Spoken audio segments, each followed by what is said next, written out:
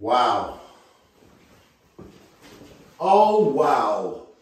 It's so right. It's all right. I think we made it all right. It's right. It's all right.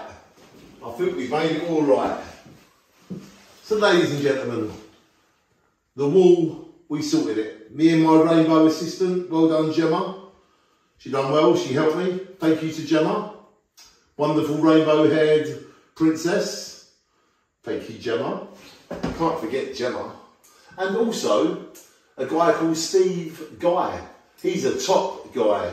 Steve is a painter and decorator. And I was sending Steve videos and I was basically showing him where I was at and the problem I had. And Steve took his own time to help me do this properly. So Steve Guy is the top guy.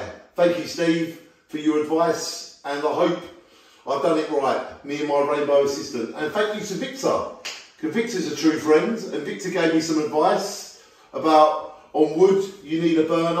On a wall, you just peel it. And Victor's the top man. Thank you, Victor. Thank you, Steve Guy. Thank you to Gemma. Thank you to some other people on Facebook as well, because they gave me advice. So thank you to them people on Facebook. And thank you to everybody else for everything. So at the end of the day, this white wall is all right. And guess what? By using social media the right way, putting videos up, asking what I need to do to make this corrected, within a couple of days, we got it corrected. And can you tell where that big mark was?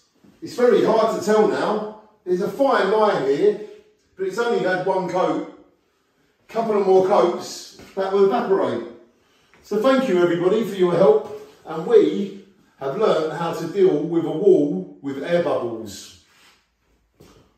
We peeled it all off. We PVA'd it. We sandpapered it. And now we're painting it.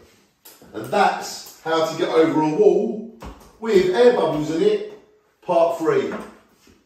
Shine on everybody. Shine on.